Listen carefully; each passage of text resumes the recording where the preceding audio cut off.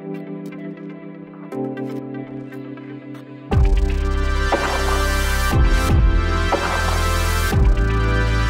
What's up everyone? In this video, I'm gonna show you just how easy it can be to overclock Intel's new Core i9 9900K to an all-core frequency of 5.1 gigahertz. And I'm not talking about some crazy high-end overclock where if you're lucky, you might get to run for a few seconds before your whole system melts down into a pool of molten goo. No, I'm talking about a completely stable overclock for everyday use that doesn't require any form of exotic cooling or even the highest end all-in-one liquid cooler for that matter.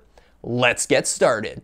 Before attempting any type of overclocking, I always like to make sure I'm running the absolute latest version of my system BIOS. To do that, you can just head over to your motherboard manufacturer's website and just check if there are any newer BIOS versions than what you currently have. Next, just a quick note on motherboards and chipsets. I recommend purchasing a higher end board with good quality voltage regulation modules, or VRMs as they're often referred to. The 9900K can be a power hungry beast, and you're gonna wanna make sure you have the absolute best voltage regulation and power delivery system that you can possibly afford within your system budget. Low cost or budget motherboards with poor VRM quality are not likely going to cut it here, at least not for high-end overclocking. So when purchasing a motherboard for a 9900K or pretty much any ninth generation CPU that you plan to overclock, do your research and make sure you're getting one with good quality VRMs. I also recommend going to the Z390 platform if you can in order to take advantage of the motherboards that have been specifically designed from the ground up to support these new Intel 9th generation CPUs. Next, we're going to talk about cooling for a second, and I really can't stress this enough. You need to make sure you have a good performing CPU cooler if you plan to get anywhere in terms of overclocking with a 9900K. Your Hyper 212 Evo is just not going to save you here. In this video, I'm going to be using a Corsair H100i version 2, which is a 240 millimeter all-in-one liquid CPU cooler. I recommend this cooler, and of course anything equivalent, as the minimum level of cooling if you plan to really push push your 9900K. Once we get our overclock all up and running, we're gonna take a closer look at thermals, so make sure you stay tuned for that part of the video. All right, to get this overclock started, we need to get into the system BIOS. To do that, restart your system and keep pressing the delete key as the computer restarts. And here we are. This is the Asus UEFI BIOS utility in advanced mode on my Z390 ROG Strix motherboard. I'm going to be doing pretty much all of my overclocking in the AI Tweaker tab. The first thing that I'm going to do is just make sure that my memory is running at its rated frequency and timings by enabling the XMP profile.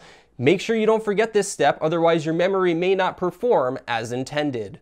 Next, I'm going to go down to the CPU core ratio. Inside here, there are a few different options. I want to select sync all cores because I want to be able to set a manual value for my frequency multiplier, and I want that to be applied equally across all eight cores on this CPU. As soon as you select this option, the core ratio limits show up. Right here, this is where you will enter the CPU clock multiplier for your overclock. I'm targeting a frequency of 5.1 gigahertz, so I will set this to a value of 51. And you can see this value has been applied to all eight cores. Next, I'm going to head over to the Digi Plus VRM tab and configure the load line calibration for my overclock. Load line calibration is used to reduce the amount of V-core fluctuation under load when you're overclocking. My motherboard by default has set this to level 2, but there are much higher values to choose from all the way up to level 7. For my overclock, I'm going to set this to level 6 because I really don't want to be dealing with voltage fluctuations while I'm trying to achieve stability.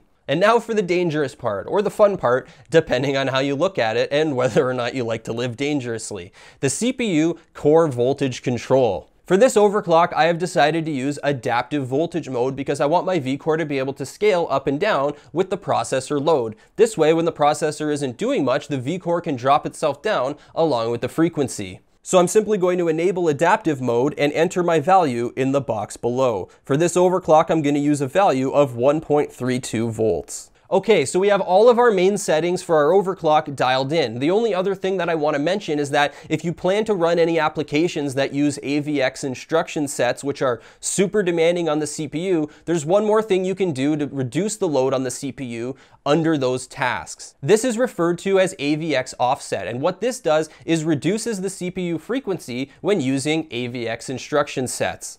The way this works is actually really simple. Whatever you enter in here as your value of your AVX offset just reduces the CPU frequency multiplier by that amount. So for example, if you were to have a frequency multiplier of 45 and then set an AVX offset of 5, it will reduce the multiplier down to 40 when AVX loads are encountered. Personally, I'm just going to leave this setting alone because I don't plan to do anything that requires AVX processing. And that's it. I'm just gonna save this profile, then hit F10 to save my changes and boot into Windows.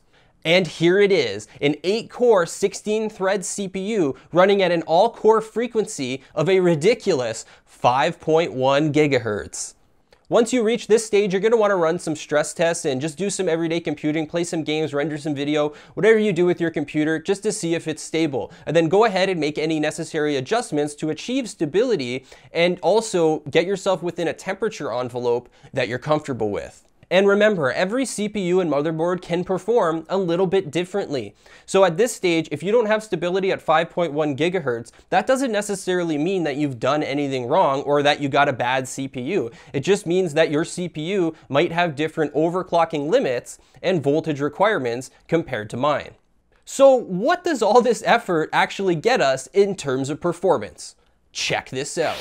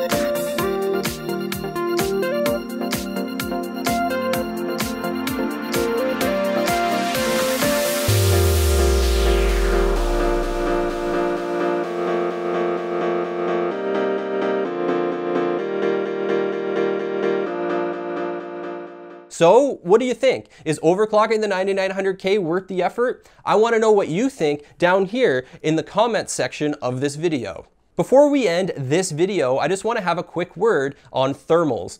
Depending on your comfort level with CPU temperatures, you can be just fine with a 240 millimeter all-in-one liquid cooler, or even a really high-end air cooler for that matter, in my opinion, such as one of those massive ones from Noctua, if you're into that sort of thing.